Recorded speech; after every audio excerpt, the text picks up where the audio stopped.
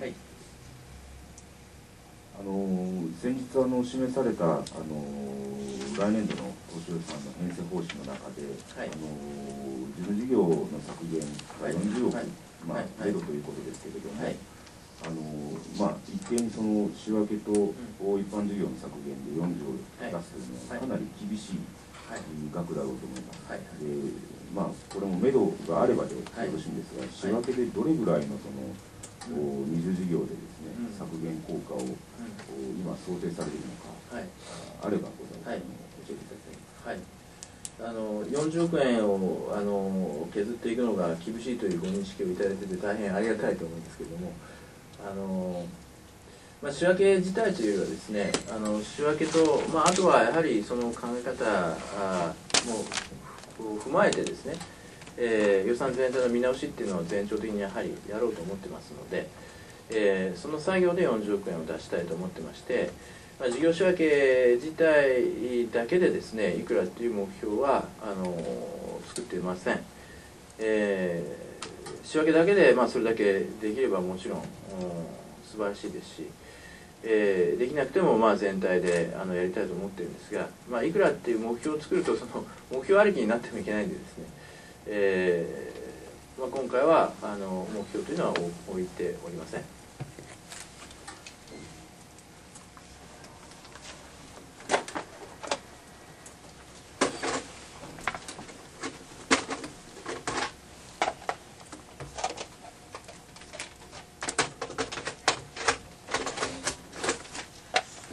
すみません、えー、い。あのー私もあのちょっと給与カットの見直しの件を質問させてい。ただきたい。んですけれども、そのまあ、今の事業仕分けを強く生み出すはいはい厳しさもあり、はい。えーまたその、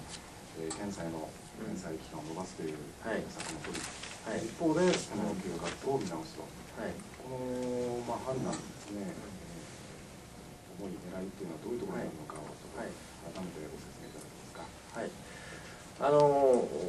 まあ、財政全般についてはですね、えー来年度1年間かけてしっかりと議論をしていくというふうなつもりです。まあ、そういった中で、えーまあ、22年度をどうするかということなんですけども、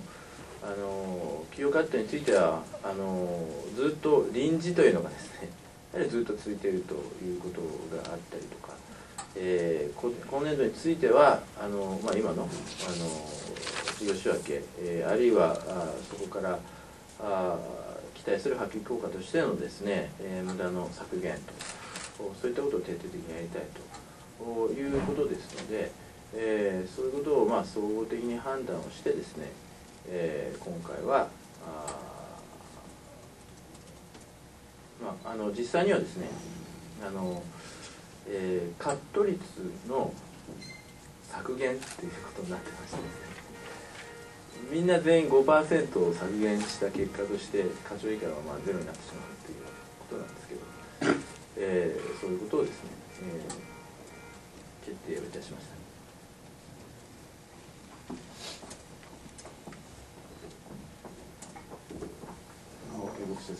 はい。今年度の、まあ、削減効果が81億円程度と聞いておりますので、はい、まあ、あの仮に続けたならですね、はいえー来年度の予算編成も、はい、まあ、相対的には楽になるんだろうと、そうですね。まあそうい。うわけなんですはい、はい、まあ、そそれがあっても、えーまあ、とりあえずここで区切りをつけたという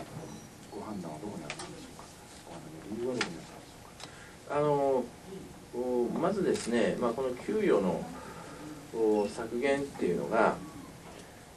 まあ、ずーっと続いているわけですけどもこれについてまあどう考えるかと、えーまずもって、えー給与が高すぎるんだということであればですねこれは抜本的なあの高級表の見直しをやるべきだっていう話なわけですね。えーところがまあそういう議論で今進んでいるわけではなくて、えーずっと臨時ということで、まあ、進んで、まあ、いるということがあります。で、えーそういうことも含めてですね来年度やっぱりしっかりと議論をしたいと私は考えているわけなんです。でその中で、えー22年度もちろんあの厳しい状況なわけですけれどもまあ、やりくりがあできるかできないかということについて言えばですね、まあ、今回はその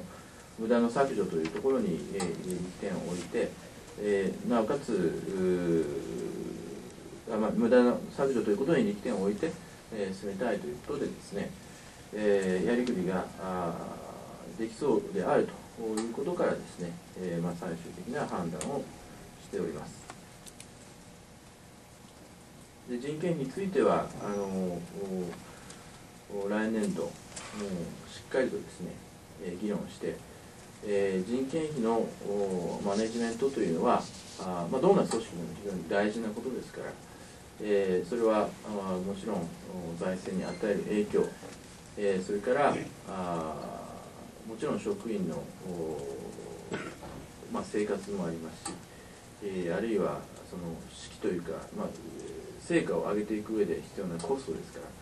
そのバランスをどういうふうに取っていくかということは私はしっかりと議論する必要があろうかというふうにまあ考えた次第です。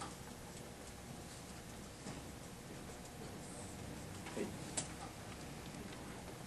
関連で、えっと、どうしてもちょっとよくわからないのが、はい。あの